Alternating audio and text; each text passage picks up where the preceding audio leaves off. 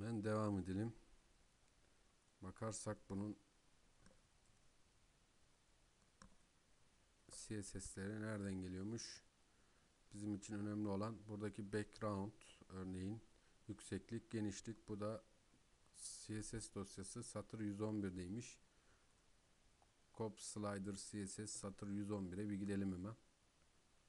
Background'u var. Ee, yüksekliği var. Right'tan 40 demiş. Top'tan 140 demiş. Top'tan biz burayı 30 diyelim. Yukarıdan 30 piksel olsun. Aslında 30 da çok. Ve genişliği, yüksekliği de buradan 200'e çekelim. F5 diyelim. Evet, bu şekilde daha iyi. Başka bakalım caption alalım bir daha gelsin. Evet, bu şekilde yapabiliriz. Bence gayet iyi şu anda. Veya bunu ne yapabiliriz? Ee, padding position right top demiş. Width 180 piksel demiş. Width'i width'i ne olsun? 90 yüzde diyelim. 90 yüzde. F5 dersek bu şekilde oldu. Tamam. Peki e, yüksekliğine ne diyelim? Yüksekliğine de 30 diyelim. Ve taptan şey taptan şimdi 130 diyelim. Ve F5 diyelim. Tekrar bir bakalım caption alalım. Nereye geldi? Buraya geldi. Bunu biraz daha aşağı alalım. 160 gibi bir değer verelim. Ve yüksek e, height'ımızı da 20 diyelim. Ctrl S padding var. Padding ile birlikte 40 piksel olacak. Evet bu şekilde. Şimdi taptan 190 dersek tam 6 almak istiyorum. Tam 6 alalım bir. Yine gelmedi. Taptan 250 280 dersek tam aşağı gelmesi lazım. 280 Ctrl S'te kaydedelim ve F5 diyelim. 280 dersek de çok oldu. 250 diyelim biz buraya. Ctrl S diyelim ve F5 diyelim. Bunu artık istediğimiz yere alabiliriz. Buradaki artık size kalmış. 230 İstersek üstte de alabiliriz. Artık size kalmış bir şey. Burası da bu şekilde olsun. Şimdi başka neler yapabiliriz? Ee, Buradaki okları değiştireceğiz demiştik. Hemen gelelim. Oklar için Icon Finder'a bir gidelim. Icon Finder benim her zaman kullandığım bir site.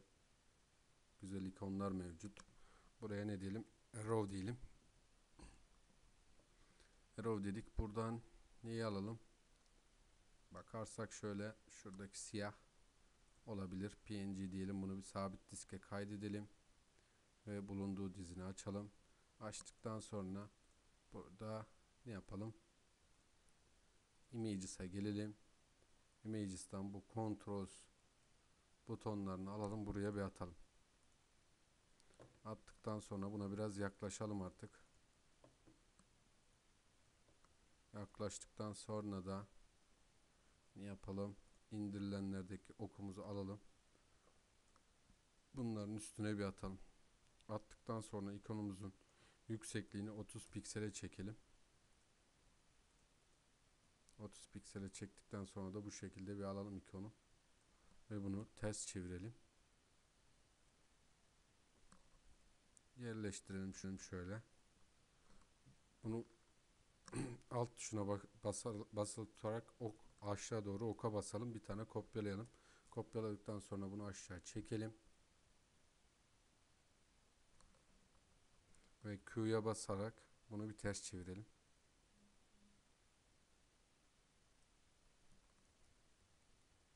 Şekilde bunu da yerleştirelim. Ve yerleştirdikten sonra orijinal bitmemi yanındaki göz işaretine tıklayarak kaybedelim. Kaybettikten sonra kontrol ise basalım. Bunu kaydedelim. Şimdi kaydettik. Birinci F5'te gelmeyecektir. İkinci F5'te de bizim resmimiz yenilenecektir artık. Şu anda yenilendi. Bunların yerlerini değiştirebiliriz. Önce şunu da bir yapalım. Bunu da alalım aynı şekilde. Biraz yakınlaşalım. Biraz uzaklaşalım. Şuradan bunu seçelim. Seçtikten sonra burayı seçtik şimdi. Ve buradan bunun içini siyahla bir dolduralım. Pardon. Siyahla bir dolduralım. Temsili olarak yapıyoruz bunları şu an. Daha güzel şekilde yapılabilir. Bunun da yani şöyle yapalım bunu. Oval bir şekil çizelim. Çizdikten sonra bunu Q'ya basarak biraz büyütelim. Ve buna gelelim. İçi beyaz olsun. Dışarısı siyah olsun dedik. Ctrl S'te bunu da kaydedelim. Ve şimdi tekrar gelip F5 diyelim. Bir daha F5 dediğimizde burası da değişti. Bakarsak aktif olunca o geliyor. Pasif olunca diğeri geliyor. Gayet güzel oldu bence.